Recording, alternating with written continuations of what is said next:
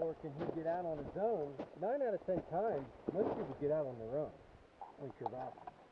And they don't fall in like I told you in the movie, like Sylvester Stallone. It doesn't happen like that. So, if I have a, once I get a sense of urgency on the falling climber, if he's like, hey, I'm alright, man, I just, you're gonna have to pull me up 20 feet or 10 feet, then fine. That gives you a little sense of, you know, how quick I need to be moving and getting the anchor built.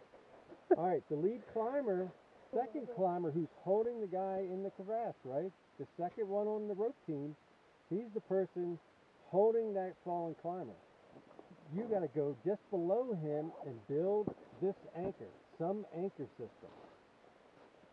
Whether it's going to be the T, which you're going to get a chance to do, pickets, combination, flukes, ice axes, whatever. And I'm going to say two points of protection, not one. Okay, so have enough gear, hopefully, that you can make that happen. You could use an ice axe eventually Okay. in the system. We're going to Yeah. use different things, and then also we're going to make you do it while you're holding on to the person. Like that? So if Yes. doing three-man teams, or the the first and the last gonna have like 20 feet of rope, or what?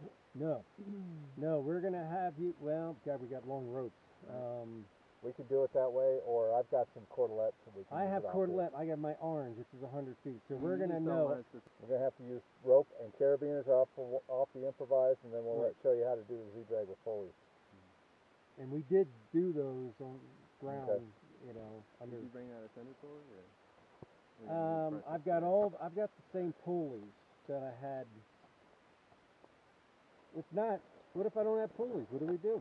Carabiners. That's why we're Carabiners gonna and do because that's what. In fact, I'm going to build it the first time. We want to use Yeah. that stuff. Now, not give you all really that. Again, the prusik.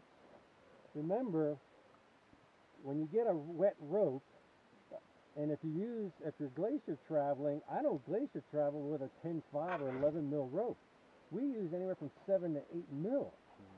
So now remember, that's why I was telling you guys, you have to get prusiks that are like you know five mil diameter. If you start getting bigger than that, um, they're not going to work Does the 550 on- work the, on a on the road.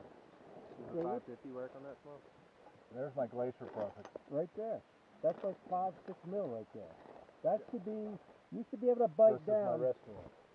You should be able to bite down on a seven or eight mil with that right there, which you've got right here. Now this rope here, this is probably This- ten five. That's a 10.5, so it's going to be beefy. But